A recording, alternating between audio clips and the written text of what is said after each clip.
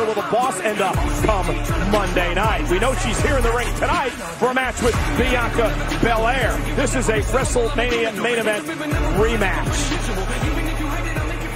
Their match at WrestleMania won the ESPY Award for the moment of the year. And uh, wait a moment.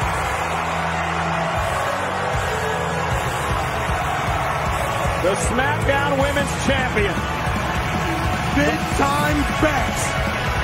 sauntering The champion because Sasha Banks decided to get involved with a match with Bianca Belair this past Sunday. Well, let's show you what's going to happen for Becky Lynch in three weeks at the Crown Jewel pay-per-view event.